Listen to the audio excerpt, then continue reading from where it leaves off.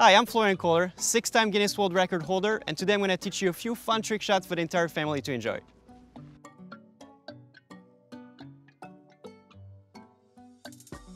This first trick shot here is what we call the rail compression. Cue ball is going to be frozen to the rail, bottom left. Then we're going to have the six ball frozen to its right. And then we have the other two balls on top of it. Okay, so it's basically just a square formation, every ball touching each other. Then you're gonna remove the five ball, making sure everything stays in place. The idea is to use the high quality hyphen rails to compress the cue ball, which is gonna leave a gap in between the rail and the six, and then make the 11 ball in that middle pocket. Again, that could be sort of a bet shot, a wager shot, because this shot's a little di more difficult than usual, but it's a great shot and a great way to win a bet against your friend and impress them. And that's how you execute the rail compression shot.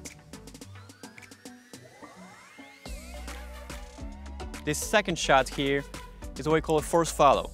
Only need three balls, the cue ball probably around here along the rail. You could put it there, or you can go here, that's probably the easiest to start with.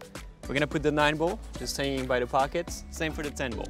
The idea is to hit the cue ball with top right, about three quarter of it, into the nine ball make the 9 there. Cue ball's gonna hook the short rail here, make the 10 ball last. A touch of right spin is gonna help you to, you know, get the right momentum. Uh, stroke is about medium to hard, depending where you hit it and how you hit it. How you make two balls in one shot using a force follow.